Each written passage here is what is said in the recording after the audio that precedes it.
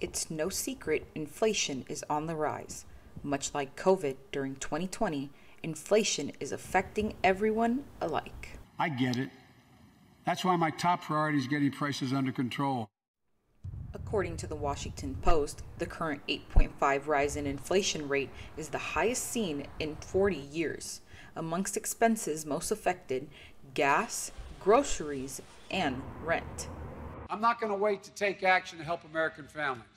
I'm doing everything within my power by executive orders to bring down the price and address the Putin price hike.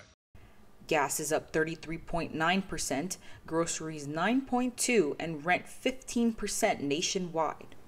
However, things may be looking up.